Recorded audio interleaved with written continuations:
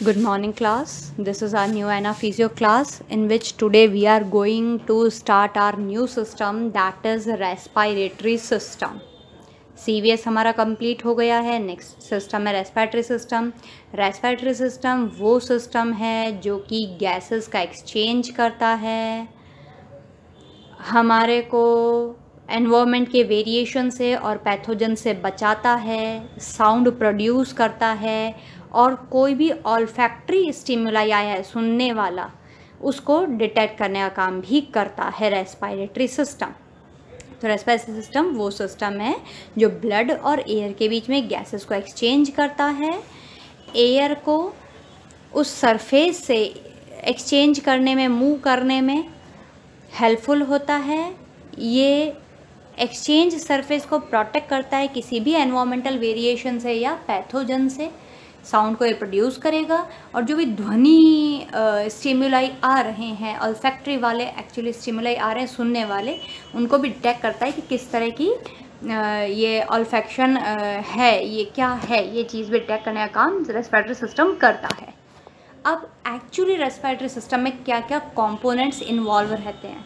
तो देखिए, सबसे पहले जो चेहरे वाला पार्ट है that is nose nasal cavity और पेरा पैरानेजल साइनसिस रेस्पिरेटरी का सबसे पहला पार्ट ये होता है। उसके बाद ये आगे मूव करते हुए, आगे बढ़ते हुए pharynx then larynx then trachea फिर ब्रोंकाई और फिर ब्रोंकाई लंग्स में जाकर खुल रहे हैं। ब्रोंक्योल्स और एल्वियोलाई के द्वारा। लंग्स के अंदर ब्रोंक्योल जो ब्रोंकाई की और छोटी ब्रांचेस हैं, और फिर एयर फिल्ड सैक होते हैं, जिसको एल्वियोलाई कहते हैं, जो गैसेस का एक्सचेंज करने का काम कर रहे होते हैं। तो ये सारे के सारे कंपोनेंट्स रेस्पायरेटरी सिस्टम के होते हैं। इनमें से जो पहले के शुरुआत वाले जो कंपोनेंट्स हैं इनिशियल कंपोनेंट्स वो मैंने आप लोगों को थ्रॉट में पढ़ाए थे और नोज़ में पढ़ाए थे। अपन ने ई e पढ़ा था ना तो ई e के अंदर जो नोज़ और थ्रॉट वाला पार्ट था वो हमारा रेस्पिरेटरी सिस्टम का ही पार्ट था। तो हम इस चीज़ को डिटेल में पढ़ चुके हैं, पर फिर भी क्योंकि रेस्पिरेटरी सिस्टम पढ़ रहे हैं तो हम इसको पढ़ेंगे। और दूसरा मैं बता दूँ कि इनिशियली जो है, मैं आपको जैसा अक्सर मैं करवाती हूँ कि फ़र्स्ट टू क्लासेस में केवल अपना रेस्पिरेटरी का इंट्रोडक्शन ही चलेगा। फ़र्स्ट टू क्लासेस में क्यों चलेगा? क्योंकि एक महीना चलेगा और एक में फीजियो चलेगी रेस्पिरेटरी की इंट्रोडक्टरी एन और फीजियो फिर उसके बाद हम इन चीज़ों को डिटेल में पढ़ेंगे कि क्या प्रोसेस और कैसे चल रहा है। तो अभी हमारी इंट्रोडक्टरी क्लास है रेस्पायरेटरी की एनाटमी की। अब देखिए रेस्पिरेटरी सिस्टम का ऑर्गेनाइजेशन कैसा है? तो ये जो हमने रेस्पिरेटरी सिस्टम के कंपोनेंट्स अभी अभी पढ़े थे, वो सारे इस डायग्राम के अंदर बताए हुए हैं। डायग्राम के अंदर सबसे पहले बाहर देखिए नोज़ है। नोज़ के अंदर जाते हुए आपको नेज़ल कैविटी दिखाई दे रही है नेज़ल कॉकी दिखाई दे रहे हैं, बड़ा करूँ? नेज़ल कैविटी नेज़ल कोकी दिखाई दे रहे हैं। फिर इसके बाद आपको ये नेयर्स दिखाई दे रहे हैं इंटरनल नेयर्स इसके अलावा यहाँ पर साइनसेस भी पाए जा रहे हैं फ्रंटल साइनस ऊपर की तरफ़ दिखाई दे रहे हैं। नेज़ल कैविटी के पास आप, उधर पीछे की साइड जो है, वो आपको स्फिनोइडल साइनस दिखाई दे रहे हैं। इसके अलावा ये नोज़ आगे ट्रैवल करता हुआ फेरिंग्स में खुल रहा है। फेरिंग्स आगे जाता हुआ लैरिंग्स वगैरह में खुलेगा और ईसोफेगस से जुड़ा हुआ ये पार्ट दिखाया गया ये लैरिंग्स आगे जाकर के ट्रेकिया ट्रेकिया जो है वो ब्रोंकाई ब्रोंकाई ब्रोंक्योल्स में और ब्रोंक्योल्स आगे एल्वियोलाई के अंदर एल्वियोलाई से जुड़ा हुआ है। अब इसका ऑर्गेनाइजेशन देखिए भाई। रेस्पिरेटरी ट्रैक्ट में दो पोर्शन होते हैं, एक तो कंडक्टिंग पोर्शन और एक respiratory portion conducting portion air movement को कंडक्ट करवाता है नेयर से लेकर स्मॉल ब्रोंक्योल्स तक नेयर से एक्सटर्नल नेयर से लेकर के स्मॉल ब्रोंकियल तक एयर मूवमेंट को कंडक्ट करवाने का काम जो है वो कंडक्टिंग पोर्शन का है. जबकि रेस्पायरेटरी पोर्शन में गैसियस एक्सचेंज का रीजन आ रहा होता है रेस्पायरेटरी ब्रोंक्योल और एल्वियोलाई ये दोनों ये काम करती है गैसेस का एक्सचेंज करेंगी। तो नेयर से लेकर ब्रोंक्योल तक तो है कंडक्टिंग पोर्शन और फिर ब्रोंक्योल और एल्वियोलाई मिलकर के बनाएँगी रेस्पायरेटरी पोर्शन जहाँ पर गैसेस जो है वो एक्सचेंज होती हैं। अब सबसे पहला जो एक्सटर्नल स्ट्रक्चर जो बॉडी में आपको दिखाई दे रहा है रेस्पायरेटरी का दैट इज़ नोज़ नोज़ के अंदर एक्सटर्नल नेयर्स होते हैं वेस्टिब्यूली होते हैं कैविटी होती है। एक्सटर्नल लेयर्स जिसको आप नॉस्ट्रल भी कहते हैं, जहाँ से एयर आपकी बॉडी में घुसती है। इसमें नेज़ल वेस्टिब्यूली पर हेयर्स की लाइनिंग पाई जाती है, जो कि बाहर से आने वाली एयर को फ़िल्टर करने का काम करती है, ताकि कोई भी माइक्रो फॉरन पार्टिकल आपके नाक के अंदर घुस ना जाए। अब वेस्टिब्यूली जो है, हमने कहा इसमें नेज़ल वेस्टिब्यूली होती है वेस्टिब्यूली नेज़ल कैविटी में खुलती है। हार्ड प्लेट के द्वारा ये नेज़ल और ओरल कैविटी सेपरेट हुई हुई रहती है। नेज़ल कैविटी में खुल रही तो नेज़ल कैविटी और ओरल कैविटी किससे सेपरेट रहते हैं? एक हार्ड प्लेट से। फिर ये कैविटी कंटिन्यू होती है इंटरनल नेयर के द्वारा नेजोफेरिंग्स में जाती है। इंटरनल नेयर से होती हुई कहाँ जा रही है? नेजोफेरिंग्स के अंदर नेज़ल कैविटी खुल रही है, जो कि सॉफ्ट प्लेट इस नेजोफेरिक्स को अंडरलाइज नेजोफेरिक्स नेजोफेरिक्स के नीचे क्या है? सॉफ्ट प्लेट है। इसके अलावा एयरवे की लाइनिंग जो है रेस्पिरेटरी एपिथेलियम की बनी हुई होती है। अब ये चीज़ें अच्छे से देखिए भाई नोज़ नेजल कैविटी और फैरिंग्स तो देखो, अपन एक्सटर्नल नेयर से स्टार्ट करें राइट साइड में आपको एक्सटर्नल नेयर दिखाई दे रहा है, ये अंदर इसके नेज़ल वेस्टिबुली पाई जा रही है। देखो नेज़ल वेस्टिबुली और नीचे ओवल कैविटी के बीच में क्या है, ये हार्ड प्लेट है। राइट साइड ही देखते रहिए और कहीं जाने की ज़रूरत नहीं है। ऊपर आपको नेज़ल वेस्टिबुली दिखाई दे रही है, नीचे आपको ओरल कैविटी दिखाई दे रही है और इन दोनों को सेपरेट ये नेज़ल वेस्टिब्यूली और ये पूरा पूरा पार्ट नेज़ल कैविटी बनाता है। ये पूरा आपको जो ऑरेंज कलर का पार्ट दिखाई दे रहा है वो पूरी नेज़ल कैविटी है और नीचे जो लाइट पिंक क्रीम कलर का पार्ट है वो है ओरल कैविटी और इन दोनों को सेपरेट कौन कर रही है ये? हार्ड प्लेट सेपरेट कर रही है। इसके बाद नेज़ल, तीन नेज़ल कोकली सॉरी कॉन्की आपको दिखाई गए हैं डायग्राम के अंदर। फिर साइनस का पार्ट जो सबसे ऊपर है फ्रंटल साइनस है। इसके बाद ये जो एक्सटर्नल लेयर है, वो आगे कंटिन्यू होता हुआ इंटरनल लेयर में जा रहा है। इंटरनल लेयर कंटिन्यू होता हुआ नेजोफेरिंग्स के अंदर। फिर फेरेंजियल टॉन्सिल बताया गया है। यहाँ से ऑडिटरी ट्यूब एंटर करते ये पार्ट दिखाया गया है। फिर ये सॉफ्ट प्लेट है, जो कि सेपरेट कर रही है सेपरेट क्या कर रही है, बल्कि ये फ्लोर बना रही है इसके नीचे अंडरलाइन अपन ने बोला था ना नेजो नेजोफेरिंग्स के नीचे ये सॉफ्ट प्लेट है। फिर पैलेटाइन टॉन्सल की स्ट्रक्चर दिखाई गई है देन ओरोफेरिंग्स ये पूरा डायग्राम अपन ने पढ़ा था नोज़ थ्रॉट मैंने पढ़ाया है, ये पूरा अच्छे से आपको। देन ये एपीग्लॉटिस फिल्प लाइक स्ट्रक्चर है, फिर लेरेंजियो लेरेंजियोफेरिंग्स फिर ग्लॉटिस वोकल फोल्ड और ईसोफेगस यहाँ पर आपको tongue, mandible, hyoid bone thyroid cartilage, cricoid cartilage और ट्रेकी आपको दिखाई दे रहा है।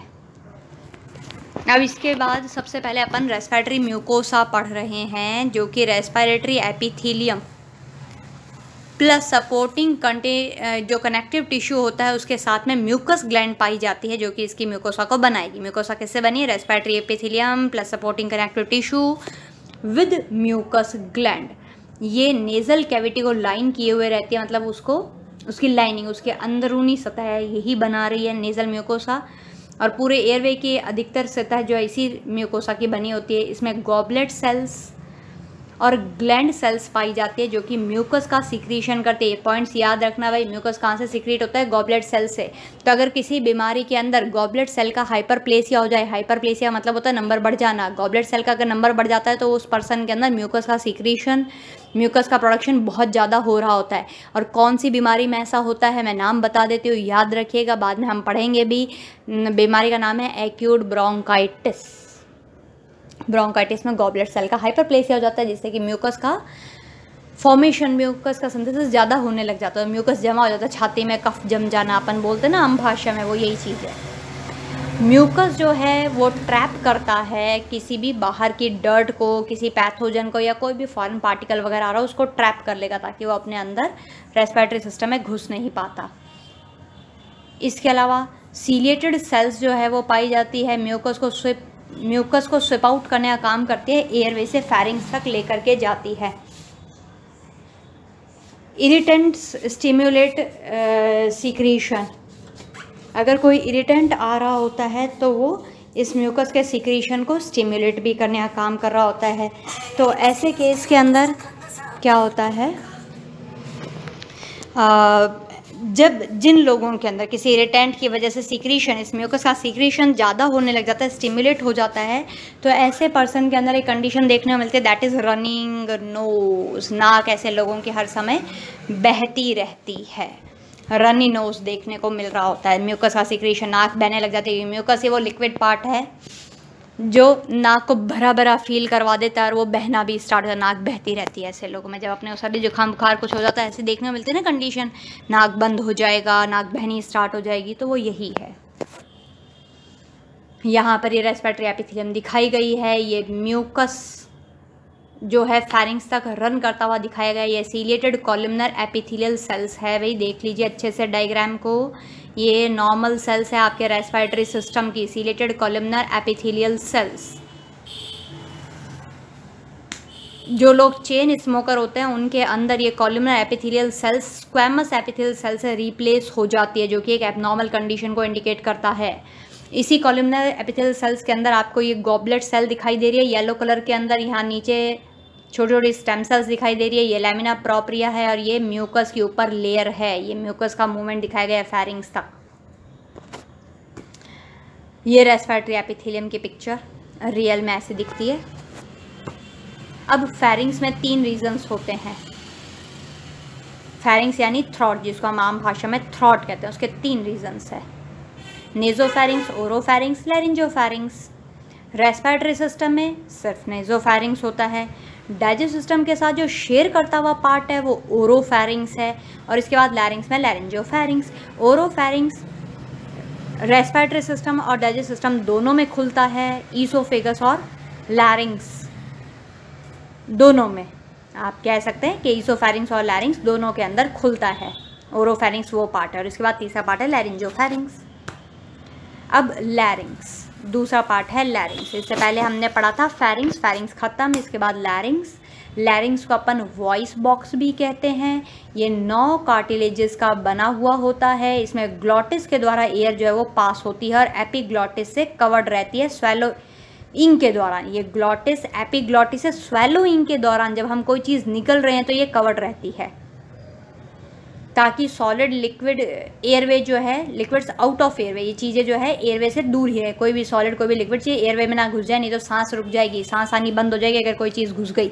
तो इसलिए वो घुसे ना ग्लॉटिस के अंदर तो एपिक ग्लॉटिस जो एक फिप लाइक स्ट्रक्चर है, वो ग्लॉटिस को कवर किए रखता है ताकि चीज़ें अंदर ना घुस सके। ये इलास्टिक कार्टिलेज का बना हुआ होता है। और ट्रू वोकल कोड को सपोर्ट करने का काम करता है। True vocal cord exhaled air vibrates them to make sound. जो आप एक्स, एयर को एक्सेल करते हो, वही वाइब्रेट करती है और साउंड उसी की वजह से प्रोड्यूस हो रहा होता है। ये लैरिंग्स है जिसको आप वॉइस बॉक्स कहते हो, नौ काटले से बना हुआ है। ये लैरिंग्स और वोकल कोड की एनाटमी डायग्राम के अंदर दिखाई गई है। ये ऊपर का part larynx then trachea larynx में देखिए, ये ऊपर ग्लॉट एपीग्लॉटिस सबसे ऊपर दिखाई गई है, जो कि फ्लिप लाइक स्ट्रक्चर खोलने, बंद करने का काम करेगी। अंदर हाइड बॉन दिखाई गई है।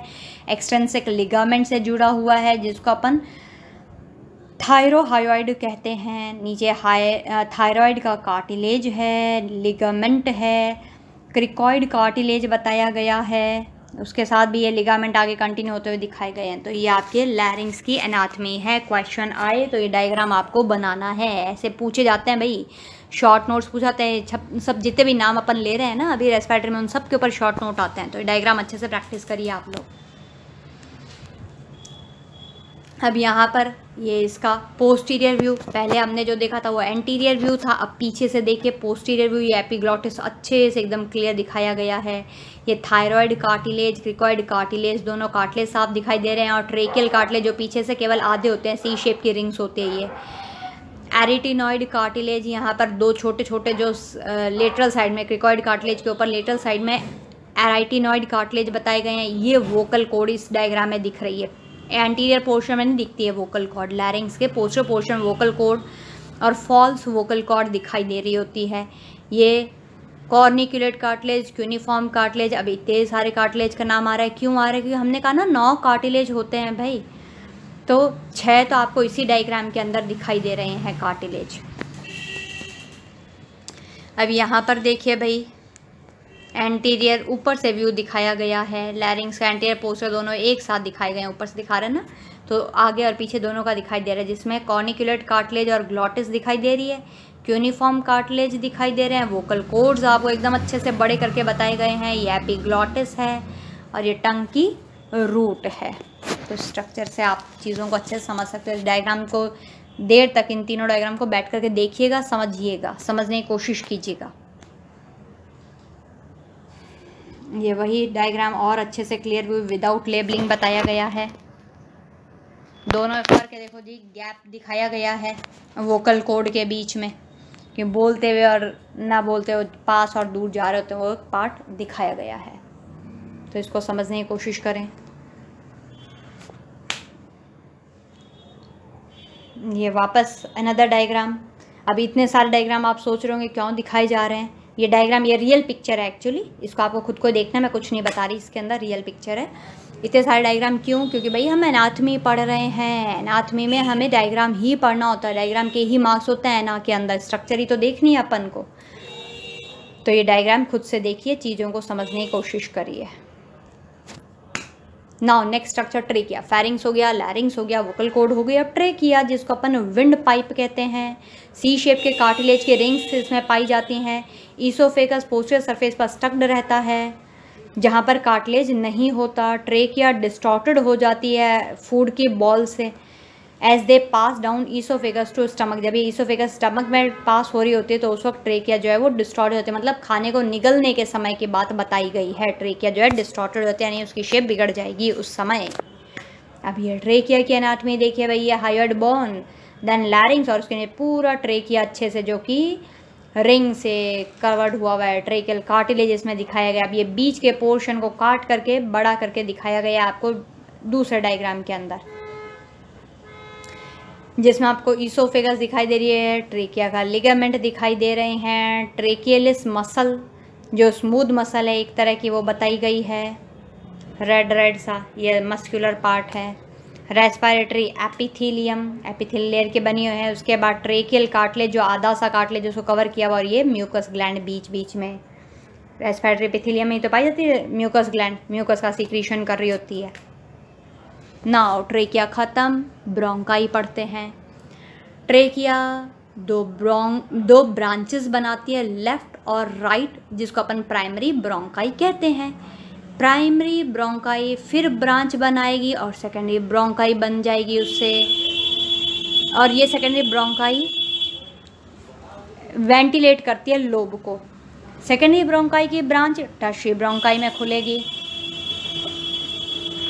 तो देखिए, ट्रेकिया जो है, हमने बोला, ट्रेकिया दो ब्रांचेस बना रही है लेफ़्ट और right primary bronchi primary bronchi फिर ब्रांच बनाएगी, जैसे सेकेंडरी ब्रोंकाई बनेंगे सेकेंडरी ब्रोंकाई के ब्रांच से टर्शी ब्रोंकाई बनेंगे टर्शी ब्रोंकाई की ब्रांच ब्रांच जो है वापस रिपीट होती है, जहाँ कार्टलेज डिक्रीज हो रहा है स्मूथ मसल सेल्स इंक्रीज हो रही है, वहाँ पर ऐसा देखने मिलता है कि टर्शी ब्रोंकाई की ब्रांचेस रिपीट हो रही हैं कार्टलेज डिक्रीज हो जाएगा उस जगह पर जहाँ टर्शी ब्रोंकाई ब्रांच रिपीट होगी और वहाँ पे स्मूथ मसल्स इंक्रीज हो जाएँगी। नाउ ब्रोंक्योल्स ब्रोंक्योल्स में कार्टलेज नहीं पाया जाता, जिनका डायमीटर एक मिलीमीटर से भी कम होता है, एकदम छोटी छोटी पतली पतली स्ट्रक्चर्स हैं ब्रांचेस हैं। टर्मिनल ब्रोंक्योल जो है, वो एयर को सिंगल लॉब्यूल के अंदर डिलीवर करता है। वॉल की स्मूथ मसल जो है, उसको कौन कंट्रोल कर रहा है आपका? ऑटोनॉमिक नर्वस सिस्टम जिसमें सिंपैथेटिक तो है, वो ब्रोंको डायलेशन करवाएगा, जबकि parasympathetic nervous system bronchoconstriction करवाता है। याद रखना है भाई ये पॉइंट हालाँकि हमने नर्वस सिस्टम में पढ़ा था, पर फिर भी यहाँ पर भी पढ़ लेते हैं, याद कर लेते हैं। यहाँ मैं याद करने के लिए क्यों कह रही हूँ, उसका कारण बता देती हूँ। सेकेंड ईयर में जब आप फार्मेकोलॉजी पढ़ेंगे, वहाँ पर एएनएस अलग से हम पढ़ते हैं और उसके अंदर यही पढ़ते हैं कि कौन सा सिंपथेटिक जो है वो क्या क्या काम कर रहा है और पैरासिम्पथेटिक क्या क्या काम करता है, क्योंकि उसी के अकॉर्डिंग हम ड्रग जो है वो प्रिस्क्राइब्ड करते हैं पेशेंट को। जैसे कि किसी को एस्थमा हुआ हुआ है। एस्थमा में क्या होता है ब्रोंको कॉन्स्ट्रिक्शन हो जाता है। तो उसमें अगर हम पैरासिम्पथोमाइमेटिक ड्रग दे देंगे तो बेचारा मर ही जाएगा पर्सन क्योंकि इतना सीवियर ब्रोंको कॉन्स्ट्रक्शन हो जाएगा। तो उसके अंदर हम सिंपथोमाइमेटिक ड्रग्स देते हैं, जो कि ब्रोंकाई का डायलेशन करवाता है। इसलिए आपको पता होना चाहिए कि कौन सा नर्वस सिस्टम कौन सा पार्ट या कौन सा फ़ंक्शन जो है वो कर रहा है। इसके अलावा यही हमने नीचे लाइन लिख रखी है कि एस्थमा के अंदर बहुत ज़्यादा ब्रोंको कॉन्स्ट्रिक्शन होता है, तब इस वजह से ऐसे लोगों को सांस नहीं आती। अब ये पूरा ब्रोंकियल ट्री आपको दिखाया गया है ट्रे किया है, आगे जा कर के ये प्राइमरी ब्रोंकस बना रहे हैं, और ट्रे किया से लेकर के आगे तक सब में ये कार्टिलेज की रिंग्स पाई जा रही हैं कार्टिलेज की प्लेट्स पाई जा रही हैं। ये लंग की रूट हैं, दिखाई गई हैं विस्ट्रल प्लूरा बताई गई है। अब ये प्राइमरी ब्रोंकस आगे जाकर के फिर डिवाइड हो रही है सेकेंडरी ब्रोंकस में। सेकेंड ब्रोंकस फिर डिवाइड हो रही है टर्शी ब्रोंकाई के अंदर। टर्शी ब्रोंकाई वापस डिवाइड हो गई स्मॉलर ब्रोंकियोल्स के अंदर। स्मॉलर ब्रोंकाई या ब्रोंकियोल जिसको अपन टर्मिनल ब्रोंकियोल्स कहते हैं और ये टर्मिनल रेस्पिरेटरी ब्रोंकियल आगे जाकर के पल्मनरी लोब्यूल में एल्वियोलाई में जाकर के खुल जाएगी। अब एल्वियोल और डक्ट और एल्वियोलाई पे आ जाइए भाई, जब अपन ने ब्रोंकाई ब्रोंकियल सब पढ़ लिया तो अब एल्वियोलाई बच गया। ये वो रीजन है लंग का जहाँ से गैस एक्सचेंज होती है, लंग से लेकर के ब्लड तक गैस एक्सचेंज हुई रेस्पिरेटरी ब्रोंकियल आगे जा जाकर के एल्वियोलर डक्ट बनाते हैं। डक्ट जो है वो आगे जाकर के एल्वियोलर सैक में खुलती है। सैक जो है वो इंटरकनेक्टेड एल्वियोलाई के क्लस्टर्स होते हैं। इंटरकनेक्टेड एल्वियोलाई के गुच्छे हैं। जो कि लंग को gives lung an open spongy look जिससे कि आपके लंग कैसे दिखाई देते हैं? स्पंजी जैसे, खुले हुए स्पंज जैसे आपके लंग इसी एल्वियोलाई की वजह से दिखाई देते हैं। लगभग डेढ़ सौ मिलियन एल्वियोलाई हर एक लंग के अंदर पाई जाती है।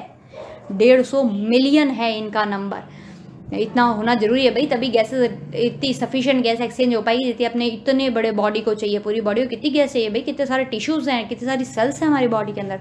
सबको जो है वो ऑक्सीजन चाहिए होती है। तो देने का काम ये करती हैं। अब ये लंग के लॉब्यूल्स देखिए भाई, उसके एनाथमी देखिए।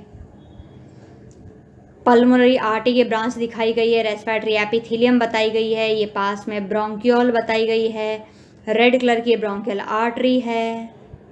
स्मूथ मसल्स, इस टर्मिनल ब्रोंकियोल के चारों तरफ़ स्मूथ मसल्स दिखाई गई है। ब्रोंकियल आर्टरी रेड से वेन ब्लू से और नर्व येलो से दिखाई गई है। येलो एकदम पतली सी पास में दिख रही है स्ट्रक्चर ये पतली सी, है ना? तो येलो में नर्व है।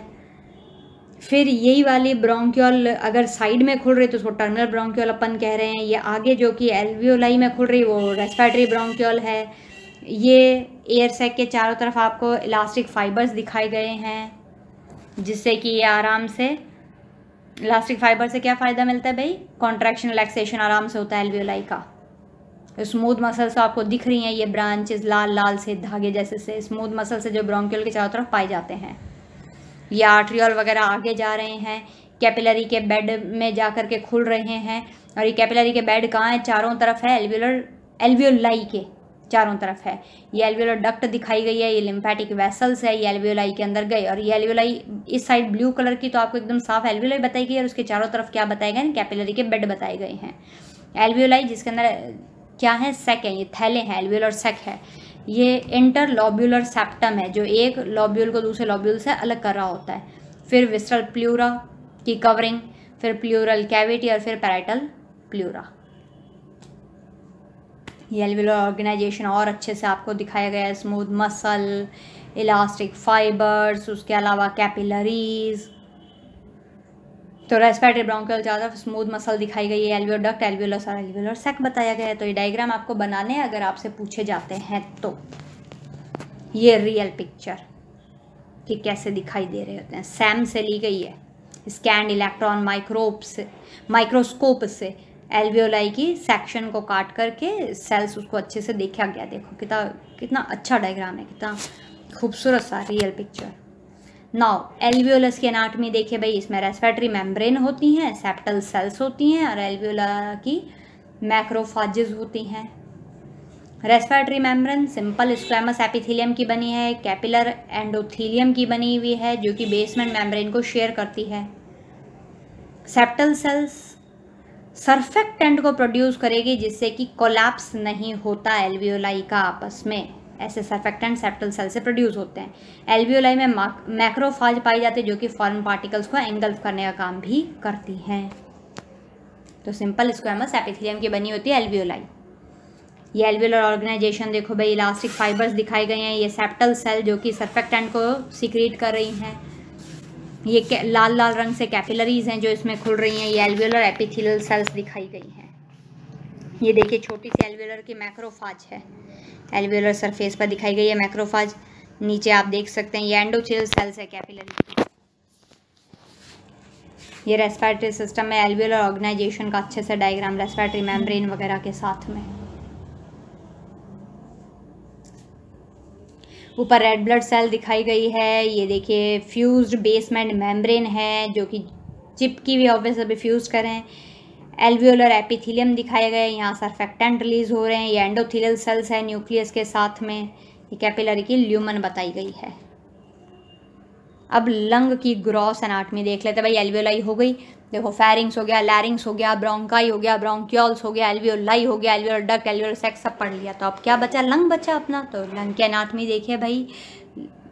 लंग पाँच लोब से मिलकर बना होता है, जो कि डीप फिशर से सेपरेट रहती हैं ये पाँच लोब्स तीन लोब्स राइट लंग में और दो लोब्स लेफ़्ट लंग में पाई जाती हैं।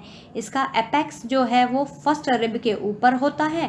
बेस जो है डायफ्राम पर रहता है, इसका डायफ्राम पर लंग का बेस और ऊपर फ़र्स्ट रिप के तक फैला हुआ इसका एपेक्स है। सिरस या सिरोस विस्ट्रल प्लूरा के द्वारा ये कवर्ड रहता है। प्लूरल कैविटी के अंदर ये लंग पाया जाता है, जिसमें सिरोस पेराइटल प्लूरा की लाइनिंग रहती है भाई। सिंपल है, आम भाषा है, समझ में आ रहा है, एकदम अच्छे से, ये देखो अब डी फिशर के द्वारा डिवाइडेड इसकी पाँच लोब्स राइट साइड में तीन लोब है लेफ़्ट लंग में दो लोब्स हैं। लेफ़्ट लंग में सुपीरियर लोब और इन्फीरियर लोब यहाँ पर कार्डिक नॉच बताया गया है। राइट में सुपीरियर लोब मिडल लोब और इन्फीरियर लोब ये नीचे बेस है जो कि डायफ्राम पे रहेगा, ऊपर एपेक्स का पार्ट है जो रिप की फ़र्स्ट फ़र्स्ट रिप तक एक्सटेंडेड रहता है। ये थोरासिक कैविटी के साथ में एनाटमिकल रिलेशनशिप बताया गया भाई लंग का।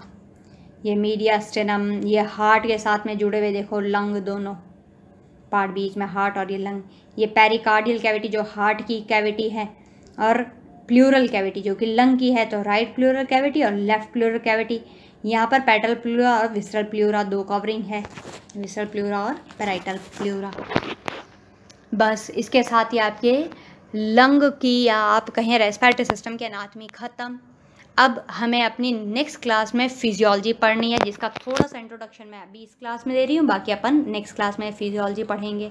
तो तीन इंटीग्रेटेड प्रोसेस जो है रेस्पिरेटरी फिजियोलॉजी से जुड़े हुए हैं। पहला पल्मोनरी वेंटिलेशन दूसरा गैस एक्सचेंज तीसरा गैस ट्रांसपोर्ट क्या आपका रेस्पिरेटरी सिस्टम क्या करता है? सबसे पहले पलूनरी वेंटिलेशन करता है। ये नाम हमने कार्डियक में भी पढ़ाए थे, मैंने आपको, आपने पढ़े हैं ये, चीज़ें याद करिए। कार्डियक में पढ़ाई थी मैंने। पल्मोनरी वेंटिलेशन में एयर जो है वो रेस्पिरेटरी ट्रैक के बाहर से आ रही होती है और रेस्पिरेटरी ट्रैक में घुस जाती है, यानी ब्रीदिंग का प्रोसेस पल्मोनरी वेंटिलेशन है। गैसेस एक्सचेंज में एल्वियोलाई से लेकर सर्कुलेटिंग ब्लड तक जो गैसेस एक्सचेंज हो रहा है, वो गैसेस एक्सचेंज कहलाता है, यानी ब्लड और इंटरस्टिशियल फ्लूड के बीच में। और गैस जो ट्रांसपोर्ट हो रही है, वो ऑक्सीजन जो एल्वियोलाई से आई थी, वो ब्लड के द्वारा जाती हुई सेल में घुस रही है। और सी टू सेल से एल्वियोलाई तक आ रही ये गैस ट्रांसपोर्ट कहलाता है। तीन प्रोसेस अपन रेस्पिरेटरी फिजियोलॉजी में पढ़ते हैं। पल्मोनरी वेंटिलेशन गैस एक्सचेंज और गैस ट्रांसपोर्ट अब सबसे पहले पल्मोनरी वेंटिलेशन जो हम अपनी नेक्स्ट क्लास में पढ़ेंगे। पल्मोनरी वेंटिलेशन एक रेस्पिरेटरी साइकिल है, जो सिंगल ब्रीद की बनी होती है, जिसमें इंस्पायरेशन और एक्सपायरेशन का प्रोसेस होता है। सिंगल ब्रीथ में सांस लेना और सांस बाहर निकालना इनहेलेशन और एक्सहेलेशन रेस्पिरेटरी रेट अगर आप देखोगे तो जो number of cycles per minute चलती है तो एडल्ट नॉर्मल में तो 12 से 18 ब्रीथ पर मिनट और बच्चे में 18 से 20 ब्रीथ पर मिनट नॉर्मल होती है। एल्वियोलर वेंटिलेशन में एयर जो है वो मूव करती है एल्वियोलाई के अंदर और बाहर। तो पल्मोनरी वेंटिलेशन के अंदर अपन ने रेस्पिरेटरी साइकिल रेस्पिरेटरी रेट और एल्वुलर वेंटिलेशन पढ़ा। मैंने ये इसलिए पढ़ाई कि मैं सिर्फ़ एक बार आपको इंट्रोडक्शन दे दूँ फिजियो का। एक्चुअली फिजियो अपन अपनी नेक्स्ट क्लास के अंदर पढ़ेंगे तो आज के लिए इतना काफ़ी है। कोई भी आपको डाउट हो तो आप मुझसे पूछ सकते हैं।